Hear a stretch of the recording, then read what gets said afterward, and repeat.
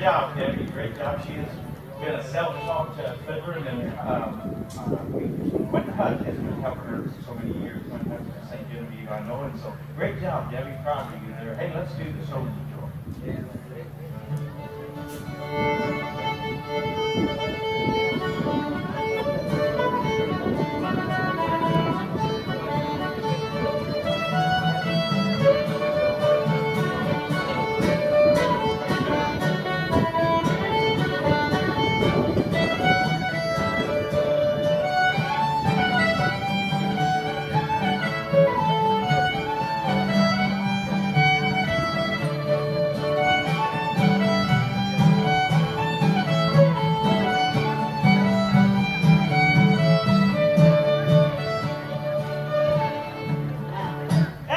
good place to end